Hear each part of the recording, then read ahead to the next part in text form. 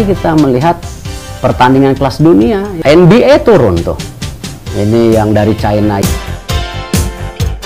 Jordan Clarkson mau main. Yang LA Lakers. VIP pun jalan. Dari Vermont jalan. Menteri, anggota MPR, DPR semua jalan. Nanti dari Vermont. Luar biasa nih bangsa kita. Semua mau jalan. Ya yang akan nonton kebanyakan para pemilik mobil ya. Mengingat tiketnya kan mahal banget tuh Pak. Heri. bukan saya anti pemerintah ya. Dan saya juga nggak ikut partai. Saya juga nggak berpikir jabatan publik. Kalau pemerintah daerah pemerintah pusat bisa meyakinkan ini kapan lagi kita jadi tuan rumah olimpiade 2032